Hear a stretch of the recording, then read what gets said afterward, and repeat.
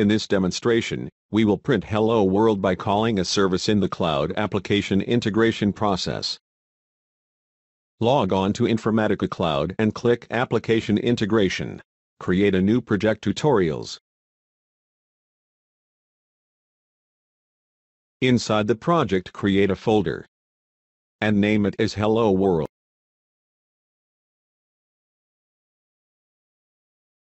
Inside the folder Hello World, click New to create a new asset. Select Processes and click Create to create a new process asset. The Process Designer opens with start and end steps already available on the Design palette. Click the Start step to configure the process properties.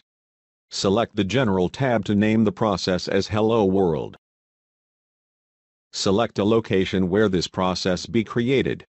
In this demonstration the process will be created inside Hello World folder that is under Tutorials project. The description field will explain the objective of the process.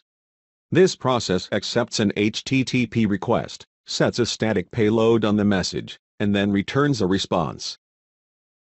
Click Start tab. Binding defines how this process be invoked. Set this to HTTP SOAP. This indicates that the process will be invoked as an API to make this process accessible by any user without authentication, and has privileges to execute processes. Select Allow Anonymous Access. Select Cloud Server from the Run On list to indicate where this process will be executed. Select the Output Fields tab and create an output field with the name as message and type as text. This will be the output of the process. Drag and drop an assignment step from the palette onto the canvas in between start and end. Select the assignment step. Click the General tab and enter Set Output Message in the Name field. Click the Assignment tab and add field message with value content as Hello World. Now, save and publish the Hello World process.